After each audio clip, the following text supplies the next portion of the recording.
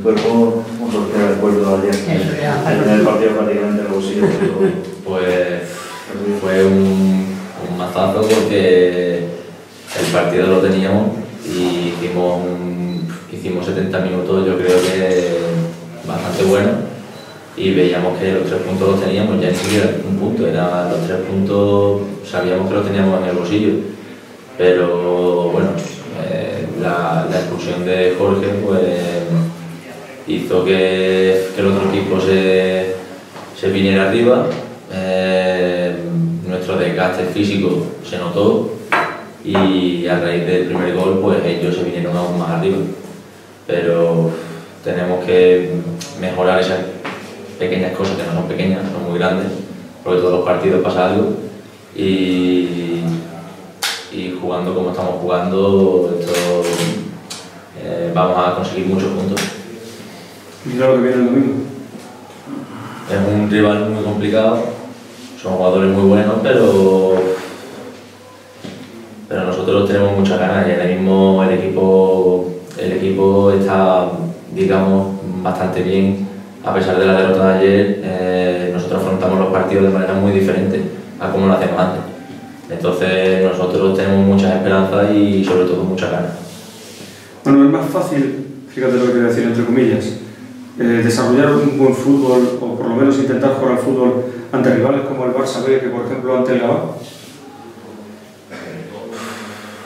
Bueno, a ver, es que los jugadores del Gabá no son como los jugadores del Barcelona también.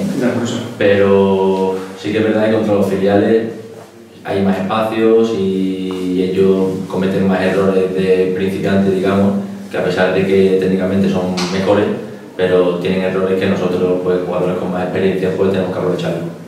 ¿Cómo se puede ganar al Barça después de estos 10 días que lleváis, victoria, empate, derrota? ¿En qué, ¿En qué os ha afectado y en qué os puede motivar para pues nosotros nos, a nosotros nos motiva mucho eh, la manera en la que estamos entrenando y en la que confiamos en nosotros mismos, porque ahora mismo somos otros jugadores completamente diferentes y ya con eso podemos enfrentarnos a cualquier equipo, estoy completamente seguro. El Barcelona B sabemos que es un rival muy difícil, pero también ellos vendrán con... Vamos al campo del último, mirarán los goles que tenemos en contra y se frotarán las manos y y vendrán un poco, digamos, a ver qué es lo que pasa, pero de una manera un poco más relajada.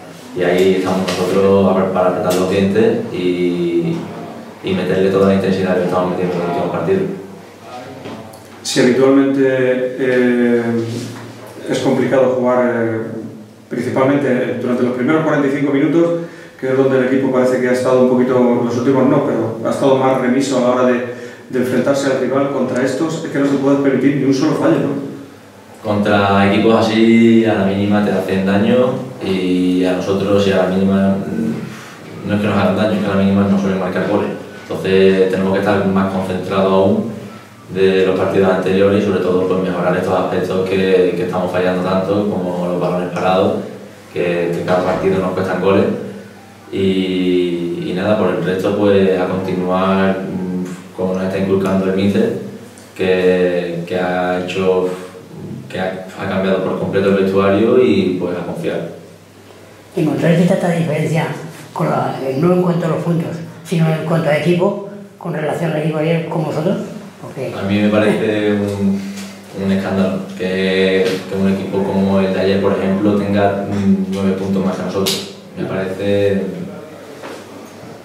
No sé cómo... No, no lo entiendo. Por contra vais a tener el domingo Juventud. bueno, eh, sí, va a ser diferente, pero... pero si vamos sobre el campo a lo mejor se mucha diferencia. Sí, no, sobre el campo no se, no se ve tanta diferencia. Pero bueno, tenemos que disfrutar también de las cosas positivas que tenemos nosotros y, eh, y hacerle el máximo daño posible a ellos.